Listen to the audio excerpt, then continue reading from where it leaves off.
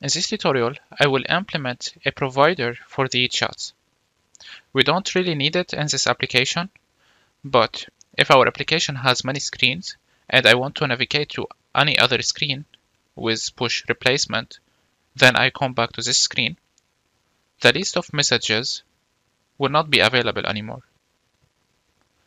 So this is why it would be better if we use the provider state management. And also if you want to display it in another screen, it will be easier for you.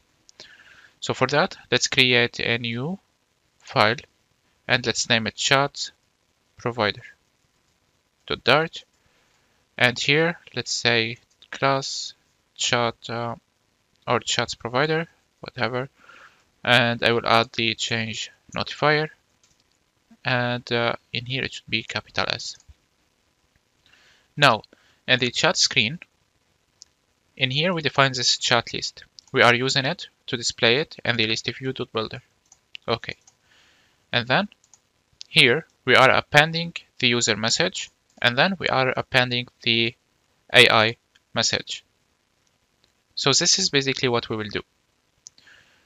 We go back to the provider, we initialize a list, just like initialization of this list paste it here, import the class, and now we need to create a getter for this list.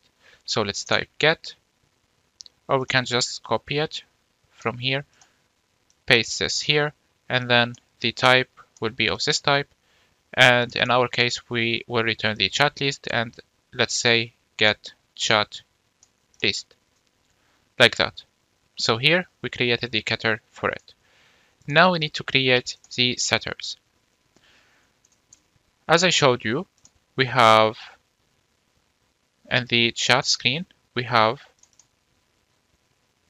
here, we are adding the user message and then we are adding the bot message. So let's create two functions, one to add the user message, one to add the bot message. You can do it in the same function, but just to make it clear for you, I will do two different functions.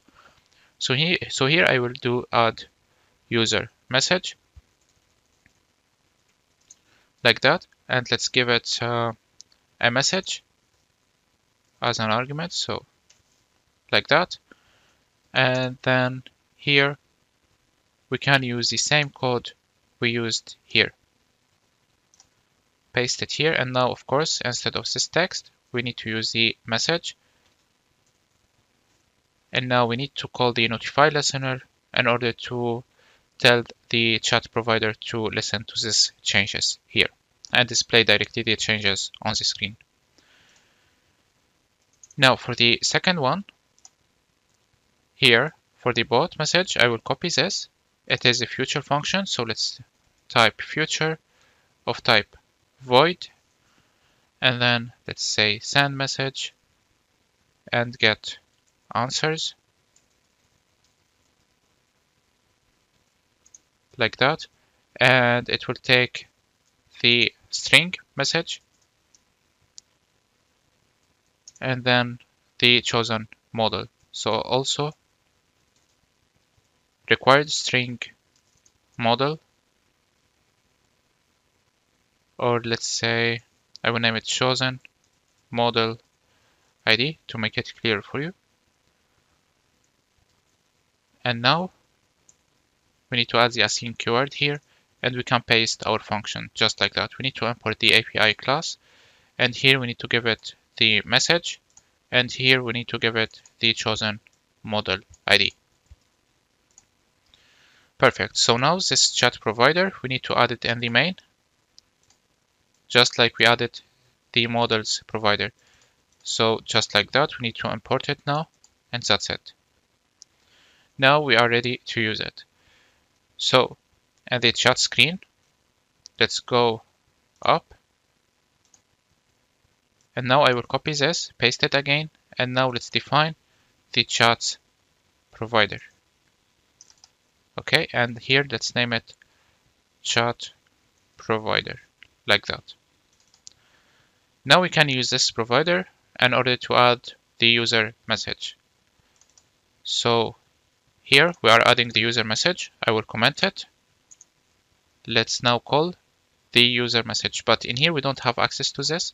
But so we need to uh, pass in the chat provider as an argument here. So let's say chat provider, and now we will have access to it. So let's say in here, add user message. And in our case, we need to give it the message that we have, which is the text editing controller.text. Just like that. And now for this one, we need to give it, I mean, we can call the chat provider and then dot. Let's say uh, call this function and of course we need to give it the text and we need to give it the chosen model. So we call this model provider. Uh, actually here it is. And I will comment this line and that's it. Now let's make sure, uh, I mean first we need to add the chat provider. Now still having an error. Of course we need to add it uh, also here. And now restart our application Okay, I will send a message after that I restart, send, and now nothing happened, so let's check what's going on. In here it is a future function, so let's await it. And here we need to add the notify listener also. So like that. Now restart the application and let's see. So let's say hello, and now send okay, something is happening, but it's not showing on the screen. And this is normal. So now we need to use the chat provider instead uh, of the list that we were using it here. So let's comment this. And now I will add comments for you just to keep it. So now we can get the chat list dot length and we can use it instead. So I will comment this and I will comment this for you and now paste it like that and then we call the index here and then call the message and I will copy this and do the same one same thing here and that's it now I will save here it is okay so now I restarted the application and I will test it again so let's uh, send any message. So let's say hello, send. And now our message appeared. Perfect. Now let's see the answer. Okay, perfect. We have the answer also.